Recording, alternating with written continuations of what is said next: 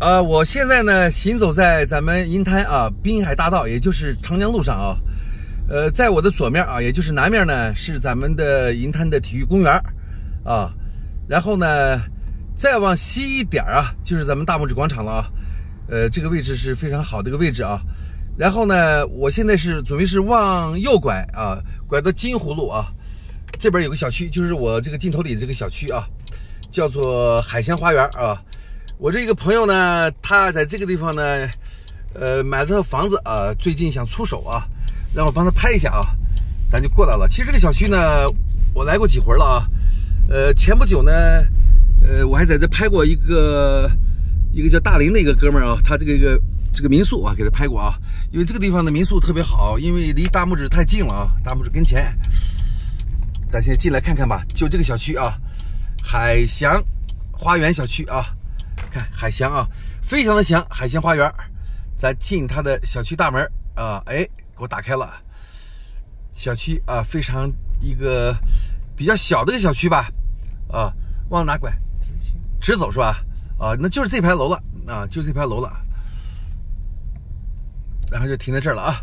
对，这有有很多停车位啊，停车带是啊，这个房子挺别好找的啊，在这小区东门进来呢。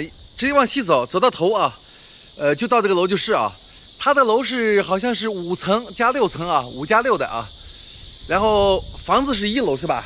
对，一楼啊，然后进来啊，单元门也挺宽的，进来啊，哎，不错啊，这底下也没怎么潮湿啊，上三级啊，也就是比地面高三级，然后咱进来了，刚才把呃这个房门给我，呃就是把灯打开了啊，进来呢，这是一个。饭厅啊，饭厅，然后这边是个，哎呦，客厅不错啊，客厅挺大的，挺亮堂的啊。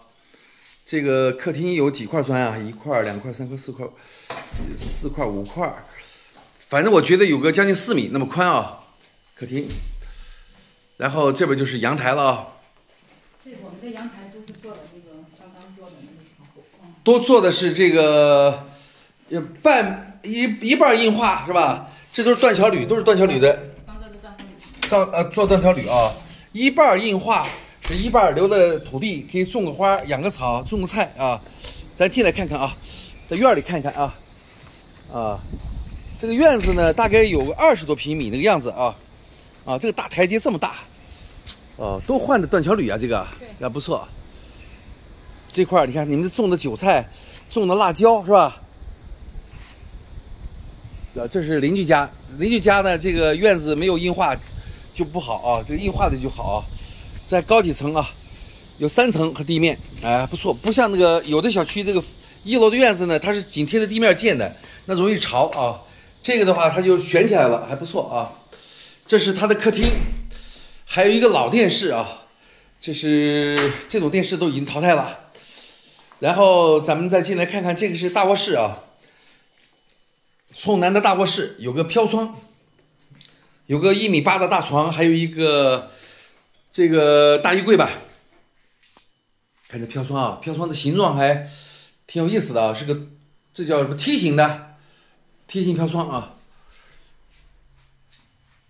然后咱拐过来看看啊，然后这个是咱们小餐厅，呃，这边是咱先不看厨房了啊，哎呀。这是小卧室啊，小卧室也有飘窗啊。像我们檀香内湾的话，这个小卧室的话就没有飘窗，只有大卧室有飘窗啊。这个房子面积多大呀？八十八。啊，八十八平米呢啊。哦，那面积不算小啊。这是卫生间吗？卫生间。啊，看看卫生间啊。卫生间啊，卫生间。卫生间也是个明卫吧？也有个窗户啊。有明明卫啊，海尔的热水器。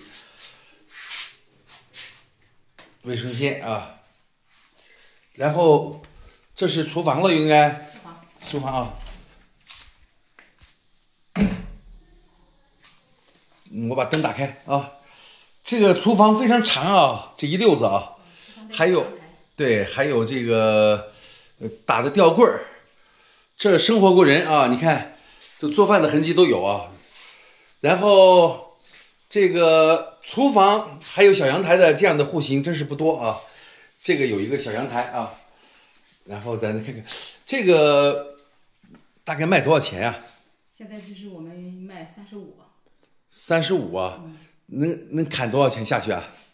砍不了多少，因为这个啊咱这个位置还有什么，都我们这个小院儿里面都设计的都很好。哦，哦，上面就有这样的一个设计是吧？那怎么房子拎包入住，进来以后什么都有，挂网条本什么的都可以，呃不用买了。那怎么个联系呢？就是幺五三幺八六幺幺五三幺八六幺零六幺七。零六幺七是吧？啊，呃，感兴趣的朋友呢，直接和这个朋友直接联系就行了啊，你们自己砍价去啊。